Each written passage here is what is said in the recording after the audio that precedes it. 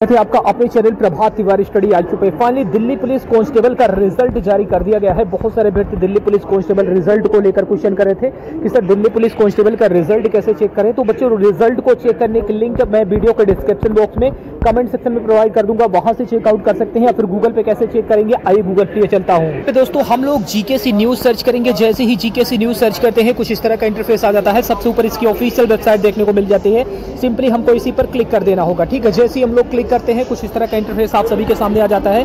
अब नीचे scroll down करके आएँगे तो देख सकते हैं दिल्ली पुलिस कांस्टेबल रिज़ल्ट ठीक है तो सिंपली बच्चों, हमको इसी पर क्लिक करना है। क्लिक करके नीचे स्क्रॉल डाउन करके आएँगे तो देख सकते हैं लिंक जनरेट कर दिया गया है। इसी लिंक पर क्लिक करके आप लोग पीडीएफ को डाउनलोड कर सकते हैं। और एक चीज़ कहूँगा, जिनका चयन हुआ है, बहुत सारी शुभकामनाएँ हैं। ठीक है, जिनका चयन नहीं हुआ है, उनको डिमोटिवेट और डिस्टेक नहीं होना है। जाकर के परिणाम को चेक करिए। मैंने इसकी लिंक आप सभी को वीडियो के डिस्क्रिप्शन बॉक्स में कमेंट सेक्शन में ऑलरेडी प्रोवाइड किया है। चैनल के साथ नए जुड़े हैं तो प्लीज़ चैनल को सब्सक्राइब करके बेल आइकन दबाना अभी की दोस्तों जय हिंद।